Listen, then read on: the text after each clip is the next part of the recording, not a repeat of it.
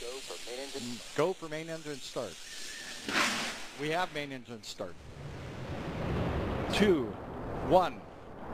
Booster ignition and the final liftoff of Discovery. A tribute to the dedication, hard work, and pride of America's space shuttle team. The shuttle has cleared the tower. Roger. Mission Control Houston, the space shuttle now rolling over onto its back for the 8.5-minute ride into orbit. Discovery now making one last reach for the stars.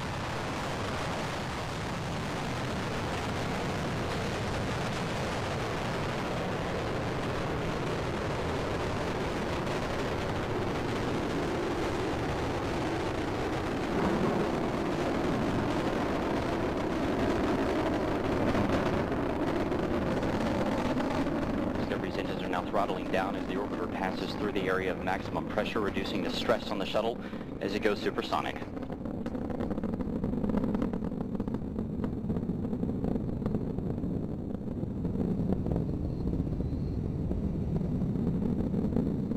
Discovery Houston, you are go and throttle up.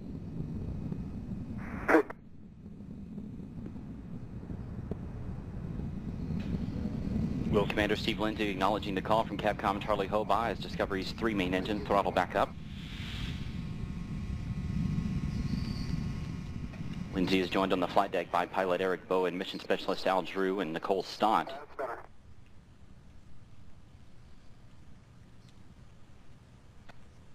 Mission specialist Mike Barratt and Steve Bowen. Discovery's three main engines are burning fuel at a rate that would drain an average swimming pool in about 25 seconds. The engines combined with the solid rocket boosters produce more than 7 million pounds of thrust. One minute, 50 seconds into the flight, we're standing by for separation of the twin solid rocket boosters. Discovery now traveling 2,695 miles an hour. Its altitude 24 miles. Downrange from the Kennedy Space Center 29 miles.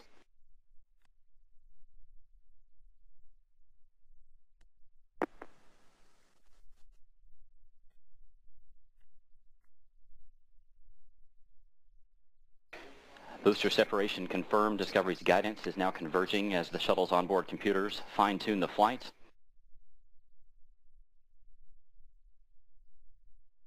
Two minutes, 25 seconds into the flight, Discovery traveling 3,189 miles an hour. Its altitude 37 miles, downrange from the Kennedy Space Center 53 miles. Discovery now getting a boost into orbit from its twin orbital maneuvering system engines on either side of the shuttle's tail. These two engines will burn for 2 minutes and 32 seconds. You are two-engine TAL.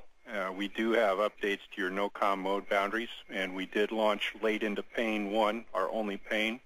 The uh, contingency abort boundaries we'll use are in-plane pl- plus 230. Let me know when you're ready to copy the new press to ATO and press to MECO. Okay, copy all. Two engine TAL and ready to copy. Into your press to ATO 11 decimal 9, press to 15 decimal 4. 11 decimal, 11 decimal 9 and 1 5 decimal 4. That's a good read back on both.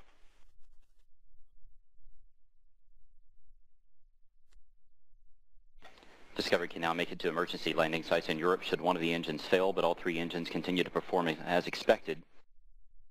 Capcom Charlie Hobaugh updating the crew there with some uh, updated uh, time information due to the later than planned launch. Three minutes and 50 seconds into the flight, the shuttle traveling 4,700 miles an hour. Discover you are negative return. Negative return.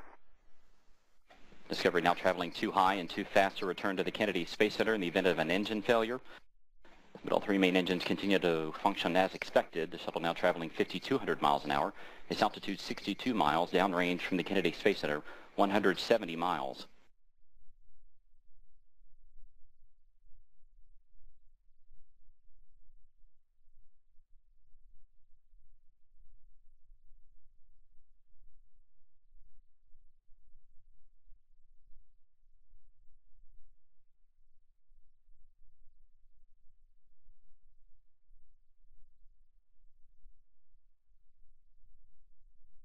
Four minutes, 45 seconds into the flight, Discovery traveling 6,200 miles an hour. Its altitude 66 miles. Downrange from KSC 229 miles. Here inside Mission Control, Flight Director Richard Jones and his team continue to monitor the progress of Discovery's flight. All systems are continuing to perform as expected.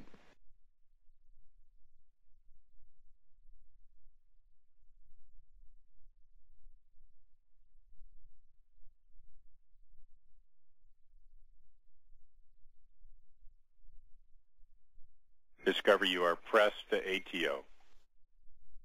Press ATO. That call from Capcom Charlie Hobaugh indicating that Discovery has enough energy to make it to a lower than planned orbit should one engine fail at this point. However, all three engines continue to burn as expected. Discovery, you are single engine ops 3. Single engine ops 3.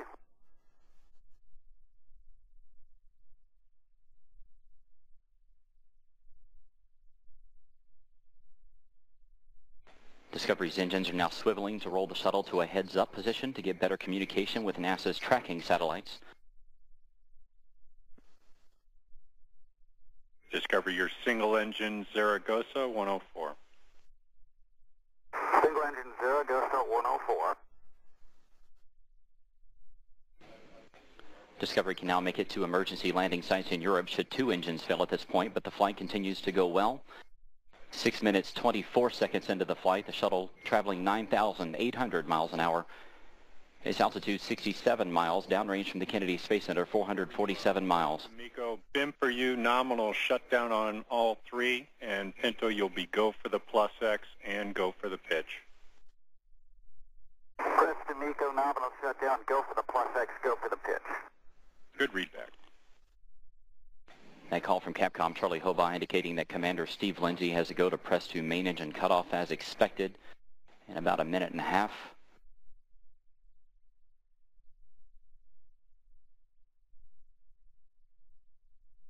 Discovery, you are single engine press. Single engine press.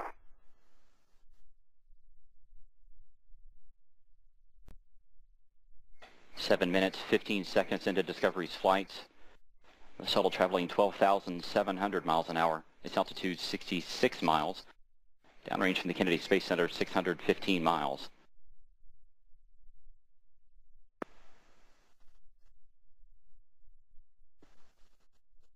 Discovery's engines now throttling back to keep the forces on the crew and the shuttle to three times that of gravity. The shuttle traveling 14,000 miles an hour.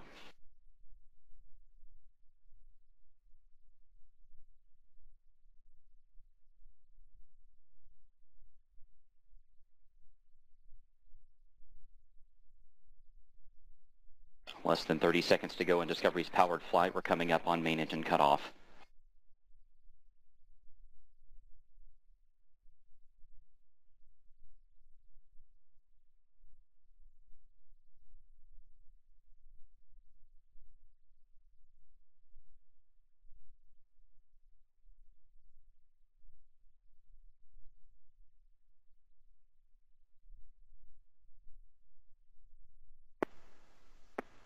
Main engine cutoff confirmed. Space Shuttle Discovery now in space.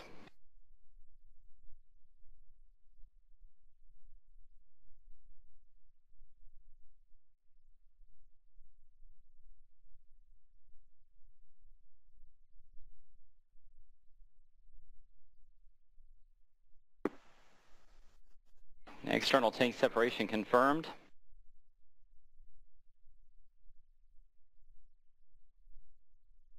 Commander Steve Lindsey will steer the shuttle up to the uh, forward portion of the external tank so that the umbilical well camera can, can capture some images of it. Discovery, we saw a nominal MECO OMS 1 not required, preliminary TIG for OMS 2 3730. Welcome to you and your veteran crew back to space. Copy, uh, no OMS 1 required, 3730 preliminary TIG, and uh, thanks a lot. Good to be here.